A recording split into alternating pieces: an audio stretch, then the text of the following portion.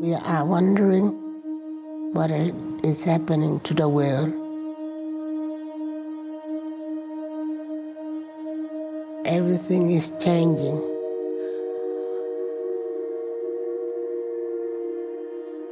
The very idea of human being some sort of natural concept is really going to change. Our bodies will be so high tech, we won't be able to really distinguish between what's natural and what's artificial. Inside our own heads is the most complex arrangement of matter in the known universe. You might ask yourself, can we get to be superhumans?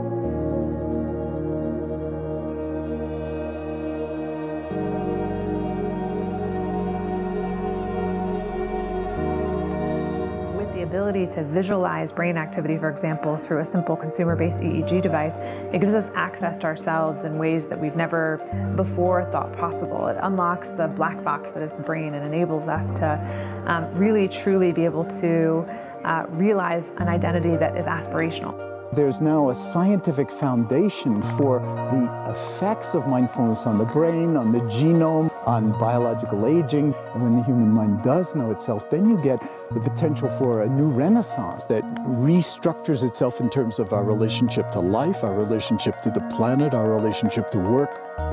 We need a different economic model.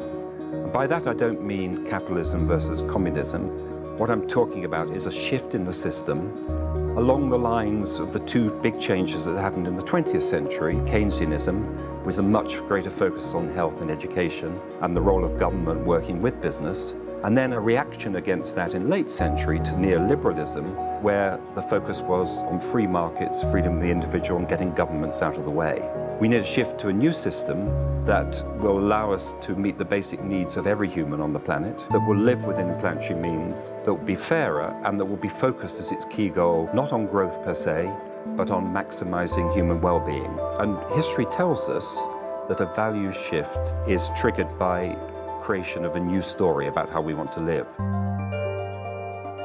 I see the circular economy as something which fits very closely with mankind's goal to be innovative and creative and to always progress. We can use asset tracking, we can use IT, we can use 3D printing to enable this different economic model to recover materials, feed them back into the economy and, and really to decouple growth from the resource constraints we have.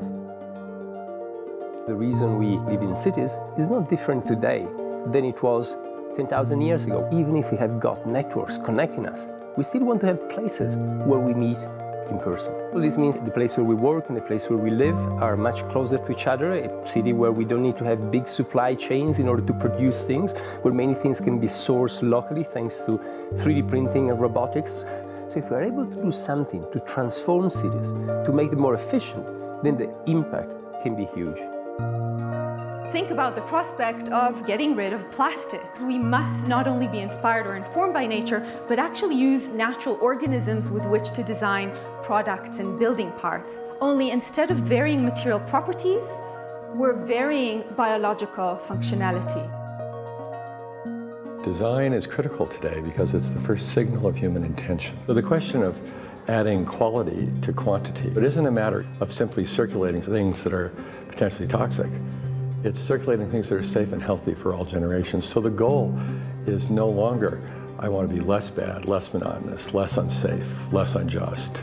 It's really about a diverse, safe, healthy, and just world with clean air, clean water, clean soil. We think about the original Industrial Revolution, it was an energy revolution. I like to think of it as a kind of bookending of a period in human history during which we used fossil fuels and it worked very well for us for a long time. But now we have to bring that to an end. We have energy technologies that can power our civilization, solar, wind, uh, biomass. So then the question is, well. The projection of 5 million jobs lost by 2020 to technology is serious, but it's not the main question. Construction, manufacturing, services, public health and education, these industries will still exist. The main question is, what will be the future of work? How will we define work? How will we share the wealth? The, from the viewpoint of the, the labor or jobs, now the, uh, we really need a new education or new training. I've just given a prize to a kid of 18 years old that has discovered something really very, very unique. Came up with how to get better productivity and better yields for seeds of corn. And so he basically came with the idea that if you would perforate these seeds, you would get more food. And uh, you think about it and say, but he didn't go to university. So how does he get all that knowledge? And he told me, I mean, I've been watching YouTube since the age of 12, and I'm so interested that I've seen everything about it. I've read everything about it. The world is really open uh, to learning. The thing is, uh, how do you give the incentive to your kids to do that? It's this ability of digital technology to change outcomes, to truly empower people all over the world that can create a more equitable growth, because I think the world needs that. Fourth industrial revolution has the potential to make inequalities visible and to make them less acceptable in the future and hopefully to gather and garner political support to take the necessary decision to reduce the gap. Humans have always been using tools, but because of the recent advances in technology, we're beginning to have machines that can augment us in all sorts of interesting ways. I was the first person in the world to be able to voluntarily move my legs while stepping in a robot by exciting the nervous system using electrical stimulators directly onto the spine. We believe that a cure will be possible if enough of the right people have the will to fast track a cure for paralysis.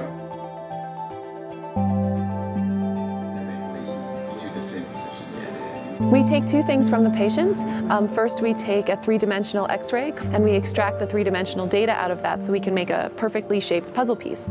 And then we also take a sample of fat tissue from the patient so that we can extract the stem cells out of those.